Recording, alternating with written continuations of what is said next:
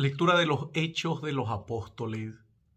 Algunas personas venidas de Judea enseñaban a los hermanos que si no se hacían circuncidar según el rito establecido por Moisés, no podían salvarse.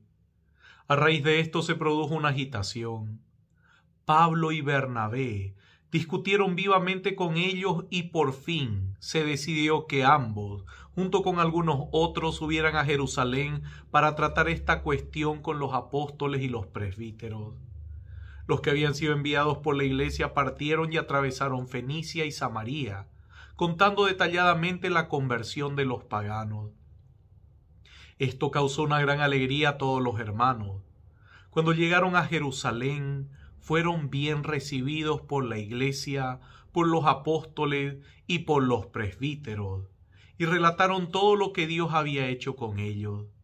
Pero se levantaron algunos miembros de la secta de los fariseos que habían abrazado la fe, y dijeron que era necesario circuncidar a los paganos convertidos y obligarlos a observar la ley de Moisés. Los apóstoles y los presbíteros se reunieron para deliberar sobre este asunto. Palabra de Dios. Salmo 121. Vamos con alegría a la casa del Señor. Vamos con alegría a la casa del Señor. Qué alegría cuando me dijeron, vamos a la casa del Señor. Nuestros pies están ya pisando tus umbrales, Jerusalén. Vamos con alegría a la casa del Señor. Jerusalén, que fuiste construida como ciudad bien compacta y armoniosa. Allí suben las tribus, las tribus del Señor. Vamos con alegría a la casa del Señor. Según es norma de Israel para celebrar el nombre del Señor, porque allí está el trono de la justicia, el trono de la casa de David. Vamos con alegría a la casa del Señor. Lectura del Santo Evangelio de nuestro Señor Jesucristo según San Juan, capítulo 15, versículo 1 al 8. Gloria a ti, Señor. Jesús dijo a sus discípulos, Yo soy la verdadera vid y mi Padre es el viñador. Él corta todos mis sarmientos que no dan fruto. Al que da fruto, lo poda para que dé más todavía. Ustedes ya están limpios por la palabra que yo les anuncié. Permanezcan en mí como yo permanezco en ustedes. Así como el sarmiento no puede dar fruto si no permanece en la vid, tampoco ustedes si no permanecen en mí. Yo soy la vid, ustedes los sarmientos. El que permanece en mí y en él da mucho fruto, porque separados de mí nada pueden hacer. Pero el que no permanece en mí es como el sarmiento que se tira y se seca. Después se recoge, se arroja al fuego y arde.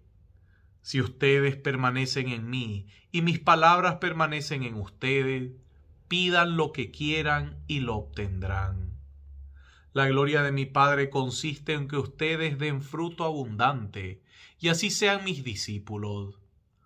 Palabra del Señor. Gloria a ti, Señor Jesús. Bendito sea el Señor en este nuevo día, queridos hermanos, hoy que recordamos que tenemos la memoria de San Juan de Ávila y nos encontramos con estas lecturas preciosas de los hechos de los apóstoles, esta discusión que hay en torno a los paganos. Recuerde que los paganos eran aquellos que rechazaban al Dios verdadero, no creían en Él porque sus prácticas eran otras, sus prácticas eran totalmente distintas, eran prácticas paganas, o sea, prácticas distintas al pueblo judío. Pero al escuchar la palabra del Señor, muchos se convirtieron. Y es ahí donde viene la discusión. ¿Deben o no deben circuncidarse? ¿Tienen o no tienen que circuncidarse? Comienza la discusión y deliberan. De eso se trata todo lo que hacen los obispos y los cardenales cuando se reúnen. Hablan temas importantes, escuche bien, no para la estructura. Hablan temas importantes para el bien de los hombres y mujeres y eso queda dentro de la estructura. Que a veces nosotros pensamos que las decisiones que se toman son para estructuras, no, para el bien, para la salvación del ser humano. Para eso los obispos deciden, meditan y deliberan temas por este tiempo que hay que discutir. Y es por eso que ha sido muy fuerte todo este tema de el sínodo de los obispos en Alemania, toda la discusión que hubo, pero sobre todo la deliberación de la gente. Y mire, los mismos obispos que estaban a favor de ciertas cosas, pero los laicos que están invitados, grandes teólogas, no estaban a favor de lo que ellos decían. Ellos estaban metiéndose en la estructura, mientras que la necesidad del pueblo era otra. Por eso es que las mismas teólogas laicas se apartan de este sínodo diciendo, no, no están hablando de catolicismo, están hablando de cosas muy personales, están hablando de deseos muy personales, están, quieren meter en la estructura, quieren estructurar o desestructurar las cosas cuando la salvación de la humanidad se basa en otra cosa. Mire, esto es importante. Todo lo que se hace en la iglesia es para buscar la salvación del hombre. Todo lo que se busca en la iglesia cuando se reúnen los obispos para el bien de la salvación de los hombres, cuando los laicos se reúnen para el bien de la salvación de los hombres, cuando nacen nuevas comunidades para el bien de la salvación de los hombres, cuando nacen nuevas espirituales para el bien de la salvación de los hombres. Nada es para llenarse de estructuras personales en las cuales yo me siento satisfecho. Ay, ay, aumentamos las normas, las leyes y todo lo que hay, listo, aumentémosle con tal de que la gente no moleste. No, si se tratara de eso, sería una multiplicación de leyes y de leyes y de leyes que llegaría al punto que la gente quede en el hastío. La gente queda en el hastío y pierde lo principal, lo central, que es Jesucristo y la salvación que Él ha traído a la humanidad. Querido hermano, esto es importante para que nosotros podamos entender de que solamente unidos a, a Cristo, solamente unidos a la vid vamos a dar fruto. Solamente unidos a la vid vamos a dar fruto. Y unirse a la vid significa descubrir qué es lo que la vid necesita. Mire, ¿qué? Perdón, ¿qué es lo que el fruto necesita? Sin la vid el fruto se seca. Separado de la vid el fruto muere.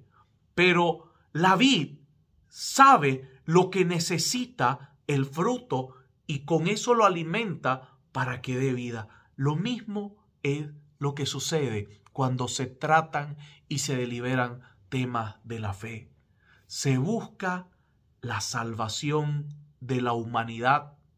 Se busca el alimento para la humanidad. Se busca el poder alimentar y dar vida al fruto de la iglesia que son los laicos, a la humanidad hambrienta de Cristo y necesitada de Cristo. De eso se delibera, de eso se discute. Y a veces son temas tan delicados que si no se los trata bien, podemos dañar el fruto.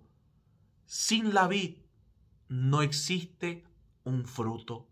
Necesitamos hacer las cosas según lo que Jesucristo busca para toda la humanidad, la salvación. Dice la palabra que Él murió por todos él no vino a condenar, vino a salvar. Él murió por todos. Así que solamente unidos a la vid vamos a hacer cosas que den vida y vida en abundancia. Solamente unidos a Cristo es donde los frutos van a crecer.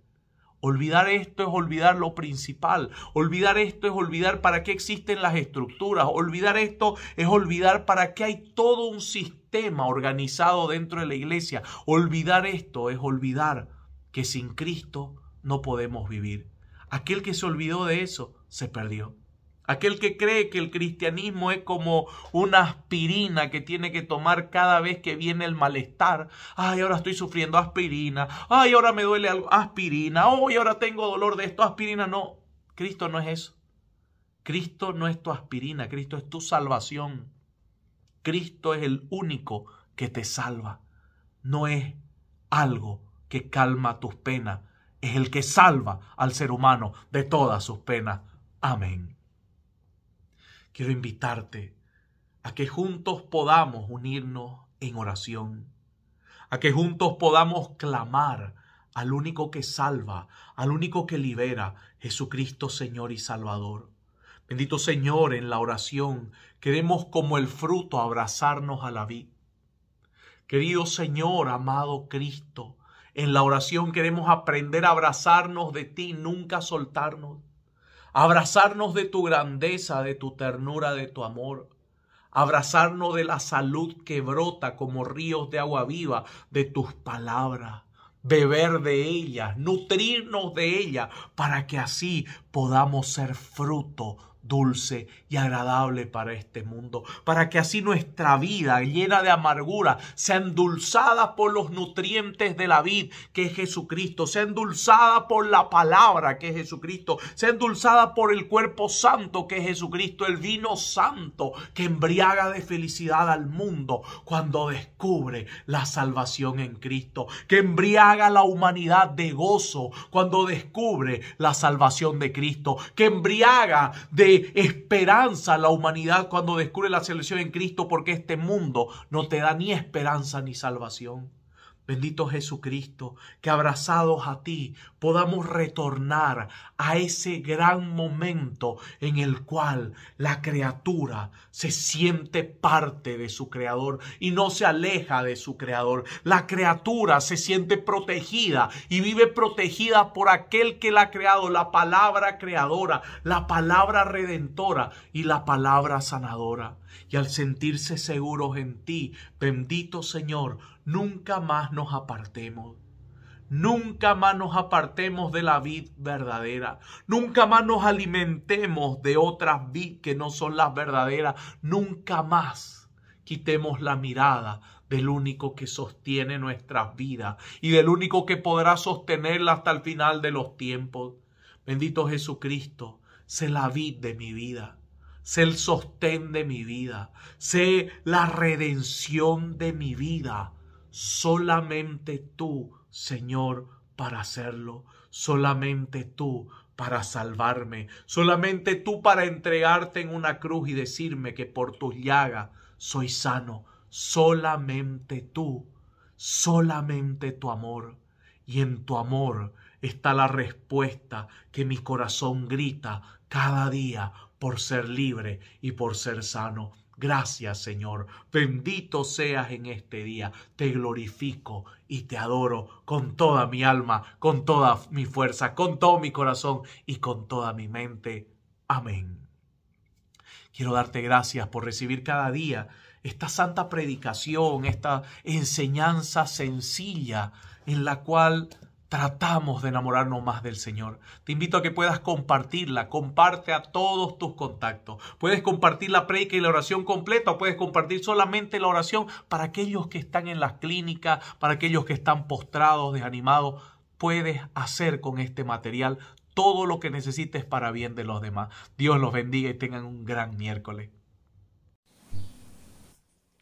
Dios te salve María, llena eres de gracias el Señor es contigo, bendita tú eres entre todas las mujeres, y bendito es el fruto de tu vientre Jesús.